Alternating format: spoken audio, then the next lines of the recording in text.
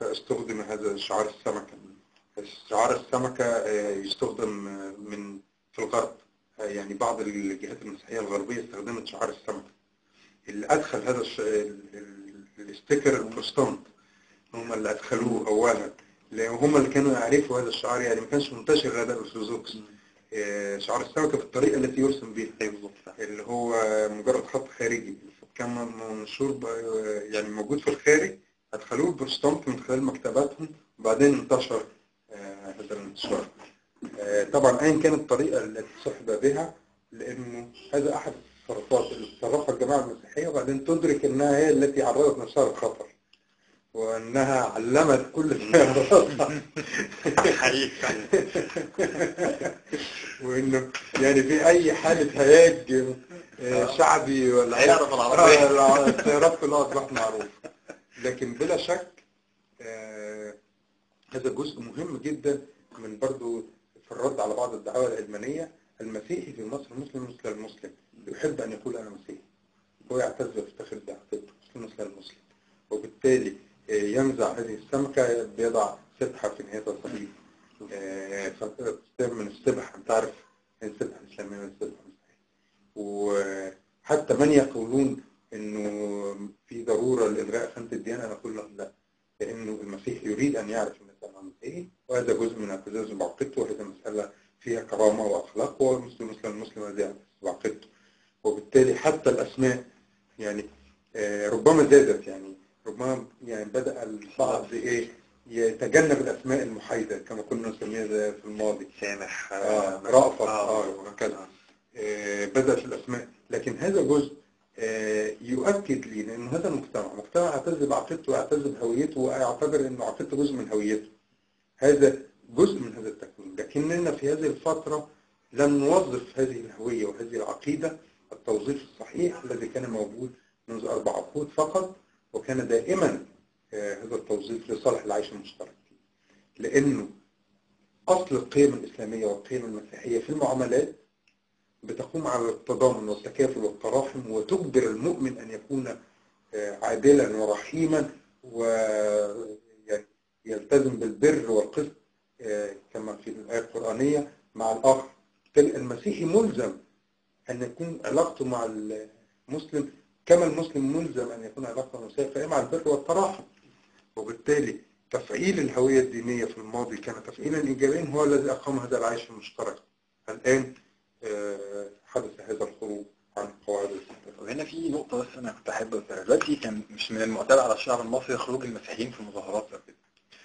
خروج المسيحيين في المظاهرات الفترة الأخيرة ديت ده يعني ده نتيجة آه، رؤية فعلا الشعب آه، يعني هو أصلا في بس عندي نقطة معلش قبل النقطة دي هي فكرة نقطة شعب الكنيسة. الكلمة دي في حد ذاتها بتوحي بأن الكنيسة دولة لها كيان وشعب وإدارة كاملة منعزلة تماما عن الواقع الموجود. دي نقطة. تاني حاجة نقطة خروج بقى الشعب الكنيسة دي في المظاهرات ما كانش ده أمر معروف حتى عن المسيحيين خاصة كمان. وإن يبقى فيه من من ال- الشعب المسيحي خروج في مظاهرات في أمر عادي جدا ضد المسلمين رغم من عارف إن هو أقلية. نتيجة يعني أنا شايف حضرتك هل هو فعلا آه، ضعف؟ يعني نتيجة إن هم عارفين إن رد فعل المسلمين ضعيف؟ ولا نتيجة إن آه، إن هو الشعب الكنيسي مستند إن هو يعني عارف إن هو مستند لقوة. عارف إن الكنيسة بقت أقوى من الأول وعارف إن هي ما حدش يقدر يعني يعني المسلم لما يخرج في مظاهره ممكن يتاخد ويتبهدل على عكس المسيحي عارف إن ده ما بيحصلش فهل ده راجع لقوة إن هو عارف في ظهر بيحميه قوي جدا ولا نتيجة عارف إن هو المسلمين خلاص وصلوا لمرحلة من إن هم الضعف إن هم مش هيردوا وده أمر بقى معتاد عندهم طيب خليني أجاوب على ده وأجاوب على جزء من السؤال أنت سألته أنا نسيت أجاوب عليه لأنه كان مهم. آه، أسألك إزاي. الجزء الأولاني إنه في السبعينات كان آه، المسيحيين عندما يحاولوا أن يكونوا ملازمين بعض المشكلات لم يكن المجتمع يستمع لهم. وكان رد فعل المسلمين تجاه المسيحيين أحيانا يكون حماسي آه، إلى حد كبير وكان ممكن المسلمين يستخدموا تعبيرات قاسية تجاه المسيحيين. وكان يمكن أن تحدث أحداث عنف. المفارقة الحقيقية إنه عندما أصبح رد فعل المسلمين آه، متسامحا في أغلبه أحداث العنف توقفت إدراك المجتمع أن في مشكلات يجب النظر ليها وحلها بالنسبة للمسيحيين أصبح أكثر وعيا وأصبحت أكثر وضوحا. آه، قدرة المسيحيين على التعبير عن مواقفهم بحرية أصبحت أكثر. رغم أن الظرف تغير بما يستجوب تغيير إحساس المسيحي بأنه مضطهد وعنده ولديه مشكلات إلى أن يشعر بأنه المسألة تتحسن تغير مشاعره في الاتجاه المعاكس وشعر بالخوف والاضطهاد أكثر. وده أنا أعتقد تفسيره له علاقة بكيفية بناء الوعي الجمعي. يعني تفسير العلم هنا أنه عندما تنشئ جماعة وعيها الخاص منعزلة عن الظروف المحيطة بها يصبح الرد فعلها ليس مرتبطا بما يحدث حولها. ورد فعلها متعلق بتفسيراتها لما يحدث وليس ما يحدث.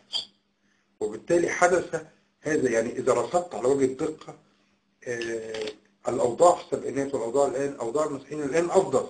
كان يجب أن يكون موقفهم أفضل رغم أن موقفهم في السبعينات كان أفضل. فهذه المسألة مهمة في فكرة أن الجماعة عندما تنعزل وعيها ينعزل. الأمر الآخر في مسألة أن الكنيسة آه، دولة داخل الدولة. هناك آه، شقين. أولا عندما وقف قداسة البابا شنودة ضد حكم المحكمة الإدارية العليا. الخطأ لم يكن حكم المحكمة الإدارية العليا. هي حكمت طبقا للائحة الكنيسة المعتمدة من الكنيسة. الخطأ كان من الدولة التي رفضت مطلب الكنيسة تغيير هذه اللائحة لأنها ترى أن هذه اللائحة كان فيها خروج عن أحكام الإنجيل حدث في ظروف خاصة. هو حدث عندما فرض الدولة أيام الملكية المجلس الملي على الكنيسة لم يكن من ضمن الهيكل الإداري للكنيسة ثم استطاع المجلس الملي أن يخرج هذه اللائحة دون موافقة المجمع المقدس. وبالتالي الكنيسة بعد ذلك رفضت هذه اللائحة وأرادت تغيير. هذا حقها. قداسة البابا شنودة عندما يقول أنه غير ملتزم إلا بأحكام الإنجيل هو رأس الكنيسة. إذا خالف أحكام الإنجيل لا يصح له البقاء في مقعده. وبالتالي هنا نحن فهمنا شيء غلط. يعني آه، ما فهم من الإعلام كان خطأ. إذا قداسة البابا شنودة خالف ما ما يعتبره الم- المجمع المقدس حكم من أحكام الإنجيل لا يصح له أن يبقى بابا الكنيسة.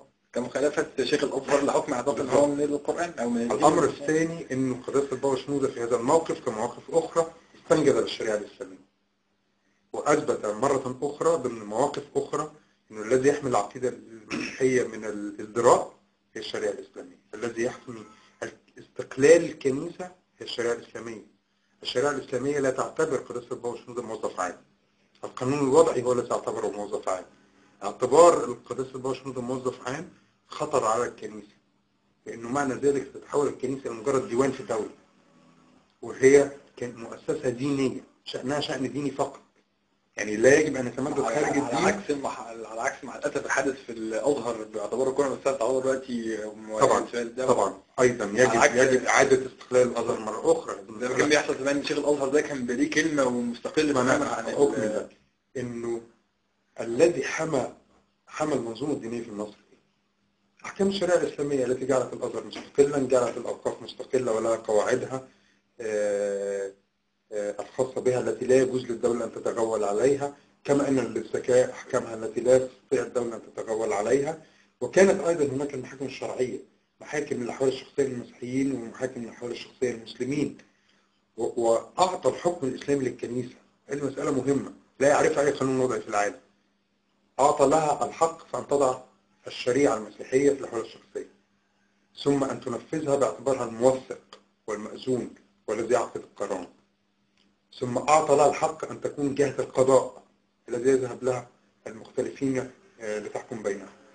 في هذه الحالة كان هناك اتساق يعني حتى بعد تعديل قانون الأحوال الشخصية تحدث مشاكل. لأنه المنظومة كانت في البداية منظومة كنسية متسقة مع بعضها البعض. وكانت تقوم على فكرة أن الكنيسة تعرف رعاياها وتدرسهم شخصيا وتتعامل مع القضايا باعتبارها قضايا دينية وتنصحهم دينيا. الآن القضية أصبحت آه، مجرد أوراق أمام قاضي. وبالتالي آه، الشريعة الإسلامية أعطت الكنيسة استقلالها وحمت آه، شريعتها في الأحوال الشخصية وشؤون الأسرة.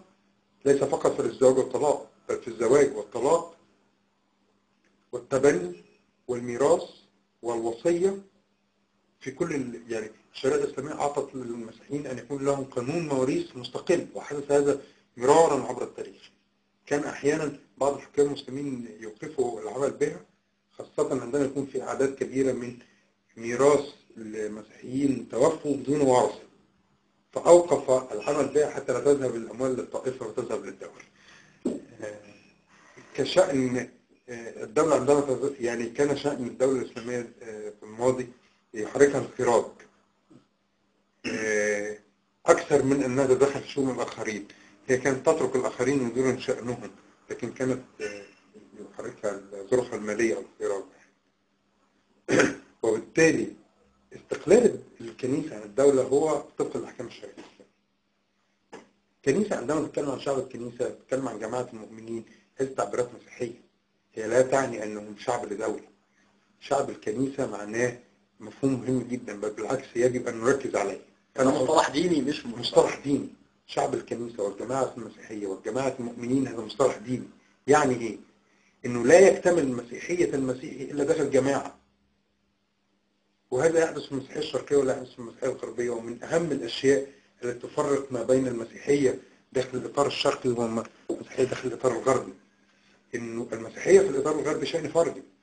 يمكن مسيحي في منزله أن يكون مسيحيا لكن لا يمكن أن يكون مسيحيا منعزلا عن شعب الكنيسة وجماعة المؤمنين وعن الكنيسة وبالتالي المسيحية هنا مرتبطة بأن يكون فرد داخل الجماعة داخل الكنيسة. وبالتالي عندما تتكلم الكنيسة عن شعبها وجماعتها هي لا تقصد أن تكون دولة. الذي جعل الكنيسة تبدو للبعض دولة هي أولا أنها مددت أنشطتها بأكثر مما ينبغي. يعني على سبيل المثال يعني المسيح المصري الذي يشجع منتخب مصر في مشهد وطني يظهر مشاهدة الماتش داخل الكنيسة. يعني هذا التمدد الأنشطة في غير محلها. الأمر الآخر أن الكنيسة بدأت تحمل مطالب الأقباط خارج الإطار الديني. يعني عندما تحدث مشكلة لبناء كنيسة هذا شأن كنسي مشكلة في قانون الأحوال الشخصية هذا شأن كنسي غير ذلك ليس شأنا كنسيا الكنيسة لا يجب أن تتكلم عن عدد المحافظين المسيحيين هذا ليس شأنها هذا شأن المسيحيين يفعلونه في الشارع السياسي مع إخوانهم المسلمين. وده ده اللي فيدل على في على إن في خطة مرسومة أو في فكر معين هو مطلوب مش مش مجرد هذا هو الذي. بنى ما هو الطائفة السياسية نموذجها موجود في لبنان والعراق ف- أن تكون الطائفة كل أنشطتها السياسية لحماية مصالح الطائفة ويكون لها مؤسسة تعبر عنها ورموز تحمل مشروعها. هذا هو التحول. هي طبعا تعبير دولة داخل دولة تعبير آه، كناية يعني آه، من البلاغة فقط لكنه التعبير الدقيق أنه تم تحويل الكنيسة إلى مؤسسة سياسية لطائفة وتحويل الأقباط إلى طائفة سياسية لها مطالبها و... ولها مصالحها التي تدير الكنيسة هذه المطالب وهذه المصالح بعلاقتها مع الدولة. الأمر الآخر تظاهر الأقباط كده افتكرت كل الأسئلة. تظاهر الأقباط حصل في الكشح أول مرة وغاب عن الجميع أن يلتفتوا لهذه اللحظة سنة 98 لأنه خرج الأقباط في الشوارع يتظاهرون ويطالبون كلينتون بالتدخل. من المظاهرة الأولى وكانت في شوارع ريف مصر منطقة ملتهبة أساسا يعني الصعيد دائما ملتهب ودائما فيه حمية وحماس. الخروج تحت لافتة الحماية الأمريكية يفسر لنا ما هو الخروج الكبير الذي حدث في العقد الأخير عندما أدركت الطائفة السياسية أنها يمكنها أن تمرر مصالحها ومشاريعها الآن لأن الدولة أضعف من أن تواجهها وأن حتى إذا حدثت مواجهة بينها وبين الجيران المسلمين فإن هذه المواجهة سوف تدخل فيها الدولة لحماية المسيحيين لأنه هناك ظروف دولية يعني هل شلت هي يد الجميع هل هي من مصلحة الكنيسة تدخل أمريكا؟ يعني هل هي من مصلحه أمريكا تدخل الغرب في شؤون في شؤون داخل البلد؟ دي من مصلحتها يعني هو هل هو بيقودوا المسيرة من ده اللي يحصل في الآخر ده المطلوب؟ يعني ده الهدف؟ ده؟ في في تقديري الخاص أرجع له تقديري وتصوري الخاص ده جزء من الخطاب المزدوج انه الخطاب المعلن إحنا ضد التدخل الخارجي الخطاب داخل الكنيسة وجماعاتها وشعبها آه، بيرى إنه حماية الأقباط هي في ظل الحماية الدولية ويمكن أن نفسر كيف آه، ما زالت آه، الطائفة السياسية المسيحية تتمسك بهذه الأفكار آه، التي لا يمكن تمريرها هي تتمسك بها وتستطيع أو تريد أن تمررها وترى أنها تستطيع أن تمررها في ظل الحماية الدولية. أن تكون مصر معزولة عن العالم العربي والإسلامي وهويتها مصرية آه، ويحكمها نظام علماني ويكون ال- الدين شأن آه، خاص شأن الجماعة المسلمة والجماعة المسيحية.